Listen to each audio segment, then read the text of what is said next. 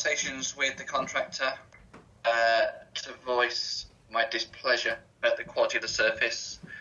Uh, it's been put down apparently to potential uh, bad batch tarmac, which at the moment the supplier of the tarmac is refusing to accept.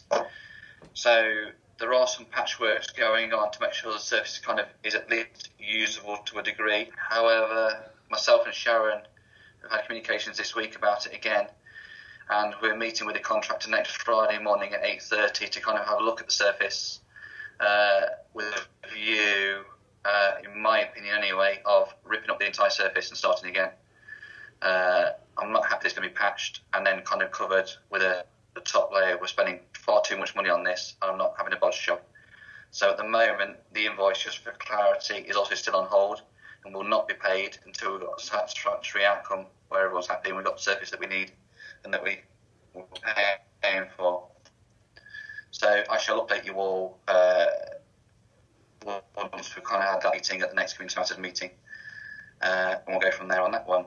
Uh, the town Pottinger, obviously the garden uh, has been granted obviously assets of community value. You may